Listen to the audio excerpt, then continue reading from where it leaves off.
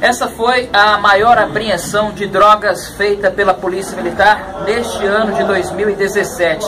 A operação foi desencadeada no bairro Frei Júlio, zona sul aqui de Teoflotone. A princípio, vamos conversar com o Tenente Rodrigo Lourenço, nos falando a respeito desse trabalho. É, desta feita, patrulhávamos, patrulhávamos o, o bairro Frei Júlio e avistamos alguns indivíduos já conhecidos na traficância de drogas.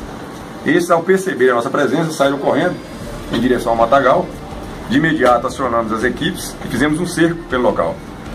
É, durante o cerco, conseguimos efetuar a prisão de um dos indivíduos e con continuando as diligências. E durante as diligências foi encontrado todo o material que pode ser visto aqui. Né? Uma vasta quantidade de drogas, dinheiro, dinheiro, tem uma arma de fogo Maconha, qual, qual a arma cocaína, que foi localizada aqui? Uma pistola 380, né? Estava com dois carregadores é, alimentado e municiado com as munições que estão sendo vistas ali. Os vídeos a seguir foram obtidos pela TV Imigrantes. Eles foram feitos pelos próprios policiais militares e mostram o momento em que os materiais ilícitos começam a ser localizados no bairro Frei Júlio.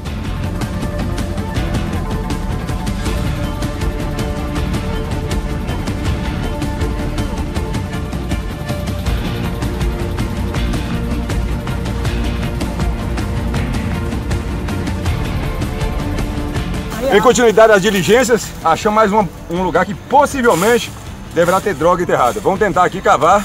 Acompanhe aí com a gente.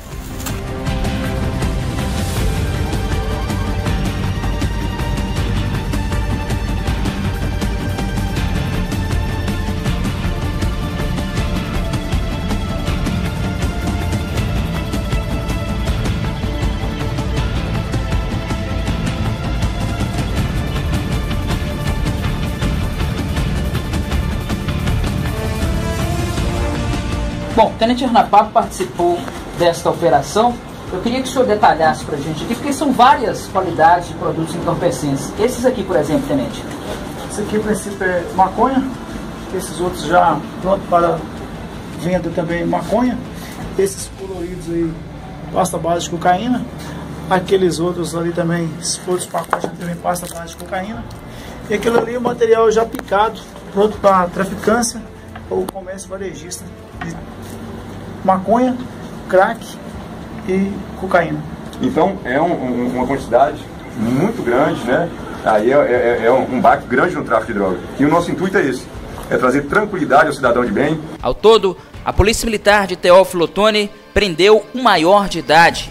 Apreendeu 13 quilos de uma substância semelhante à maconha, 10 quilos 215 gramas de uma substância semelhante à cocaína, 415 gramas de uma substância semelhante a crack, 390 buchas de uma substância semelhante a maconha, 515 pedras de uma substância semelhante ao crack, 200 pinos de uma substância semelhante à cocaína, R$ 4.160 em dinheiro, uma pistola calibre .380, um carregador 33 cartuchos .380, três balanças de precisão.